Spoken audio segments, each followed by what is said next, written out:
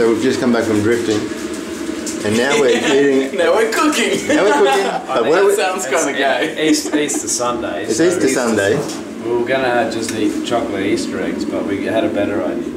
Much Yeah. better idea. A much more healthy idea. Yeah, it's healthy because we're eating bananas. So, what did you do, Heath? Yeah, yeah. There's, there's, there's what we started with. Yeah. Ha- half an Easter egg. Half an Easter egg, No, we and started, then we started with a full Easter egg. a full Easter egg. Now we've got a half Easter egg. Now we've got half, and then he thought he'd put it in a pan and melt it, Yeah, Yeah. and to make it healthy, put it in bananas, yeah, because that's healthy. because that's healthy. Correct. You know, all about healthy. Yeah. It's all about the balance of your diet. yeah. Yeah, man. Bit of bad, bit of good. Bit of bad, bit of good. Yin and yang. Yeah, exactly. An idea for your home. Then you put it in the fridge and eat it later. Good.